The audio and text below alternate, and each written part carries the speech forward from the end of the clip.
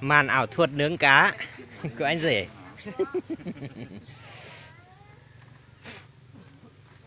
cứ đục khai là ngon.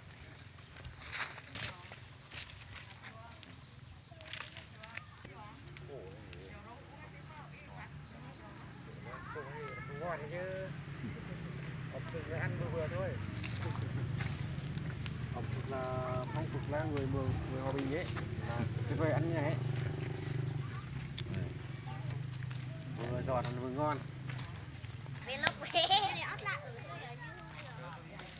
Ông bảy vlog tiêu ớt đấy, nó tiêu ớt nhá. Ai ăn vào tay của mình thôi, không một miếng nhá. Miếng mình đặc biệt thôi, bảo là món đặc sản của Hòa Bình nhá.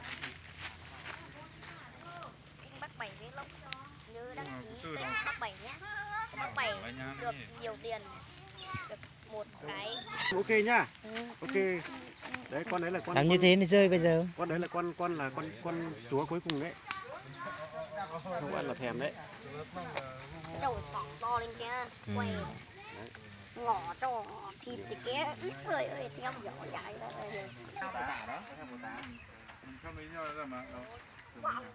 Bố bố mới ra đây nữa